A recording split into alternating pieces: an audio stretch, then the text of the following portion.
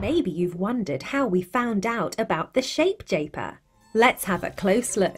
As usual, it was our agents who first saw her. They sent in drawings of what they thought they'd seen. To begin with, it was mostly the weird mouth the agents noticed. Most drawings were of the Japer as a sphere. Then we found out she could change into a cuboid, or a cylinder, or even a pyramid. Then we finally got some pictures of the Japer as a triangle and a square. We found out she can change into a small circle or a big one. Quite an ugly one sometimes.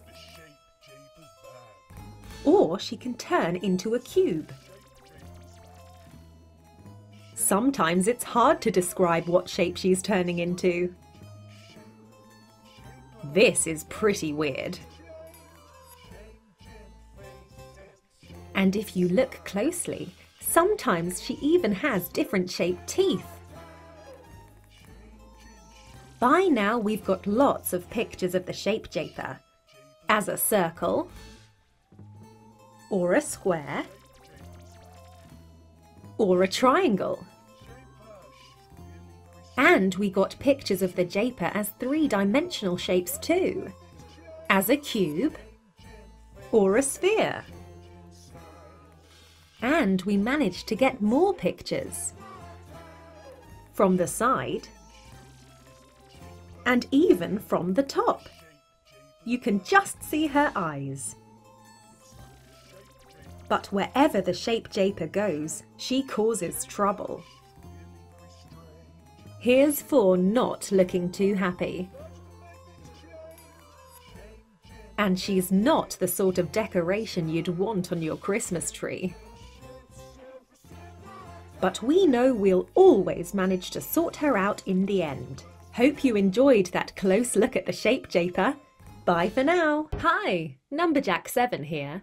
As usual, it was our agents who first spotted the blob, and they sent in drawings of what they'd seen. This was the first drawing we got. As you can see, it looks pretty weird.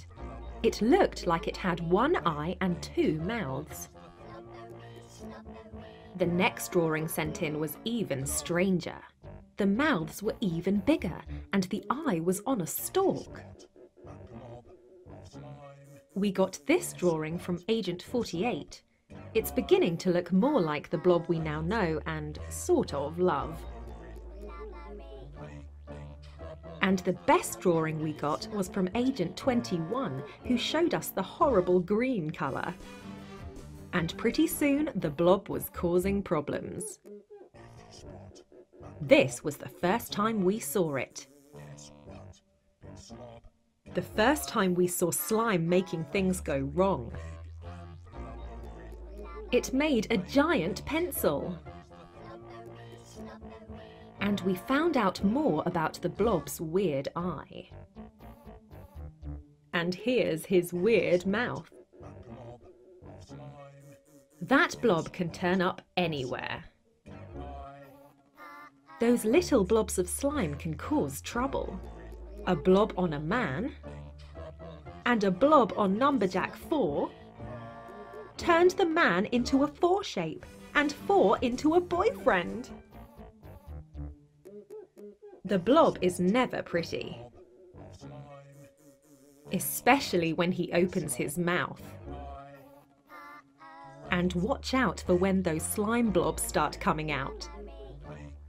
There can be a lot of them. Can you spot him here? There he is! But his blobs of slime can be really hard to spot. Even a tiny blob can make things go wrong. So when we spot the blob, we Numberjacks know what we've got to do. Get rid of him! Hope you enjoyed your close look at the problem blob. Hi, Numberjack7 here. we thought you might like to have a close look at where we Numberjacks live. You know we live inside a blue sofa, and from here we are launched to go on our missions. There's Jasper watching! And inside the sofa are different rooms. Here's the cosy room to play in. And the gym. Then when the alarm goes, we have to rush to the control room. Here we are lined up. In the control room, we hear from the agents. And then one of us goes out from the launcher to deal with the problem. But whereabouts in the sofa are all these rooms? Have a close look. Well, here's a cutaway picture of the sofa to show exactly where all the rooms are. Can you find the cosy room, the gym, the control room, and the launcher? Here's a closer look. The control room is at the top. The gym is underneath on the left. The cosy room is to the right of the gym. And the launcher is in the arm of the sofa on the right. Here's another close look, this time from above. There's the control room at the top of the picture, with the brain game machine on the right. Then there's the gym, the cosy room and the launcher. Another look at the whole sofa. Notice the camera we have to check there's no one in the room. Now have a close look inside each room without Numberjacks in. Here's the cosy room, with some of our very comfy cushions. Here's the gym. It's a great place to play. This close-up picture shows you the steps and the tubes more clearly. Here's the control room. In front is where the Numberjacks stand to control a mission. Here's a close look at the screen. It's so important for us to see what is going on with the mission. And this is looking the other way in the control room towards the brain game machine. And here's that very important place in the sofa, the brain game machine. What would we do without it? This is the view from inside the brain game machine. Would you like to be in there? This is the launcher. And here's an even closer look at some of the machinery. Can you see the number panel at the bottom? And one last close look at the sofa with the number jacks inside. I'll give you plenty of time to find us. We're all there except 0 and 2. Numberjacks 9 and 6 are hard to find. 8 Numberjacks for you to spot. Did you find the 8 Numberjacks? Here they are. Hope you enjoyed your close look at the Numberjack sofa. Bye again! Numberjack 7 here, we thought you might like to have a close look at how we found out about Spooky Spoon. At first, all we had was a few quick sketches our agents managed to make. We weren't even sure she was a spoon. Then we got some drawings. Definitely a spoon, and definitely a long nose. We had lots of drawings sent in, but she moved so quickly no one was able to get a definite picture of her. Some sketches didn't look like her at all. We didn't even know what colour she was. Some agents thought maybe she was green. More ideas came in. Was she light blue? Or maybe even orange? Maybe she was purple or blue Nobody knew until finally we got a photo of her. And of course, she was pink. Except one day she turned yellow, but mostly pink. But you never know what's going to happen with Spooky. One minute you're having a quiet picnic.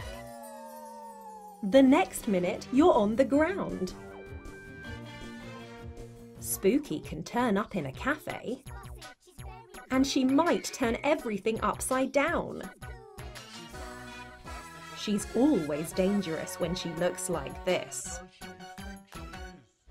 Yes, we soon saw plenty of our meanie friend Spooky. We saw too much of her to be honest, making trouble everywhere.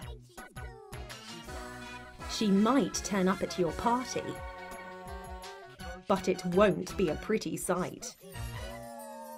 But if you can bear it, we got some great close-up pictures of Spooky, even smiling a bit. Or grinning. And more likely scowling. And we got pictures from the side. Yes, we've seen plenty of Spooky Spoon over the years. And even from the top. There are many pictures of Spooky to see but she never will look beautiful. Hope you enjoyed a close look at Spooky. Bye for now.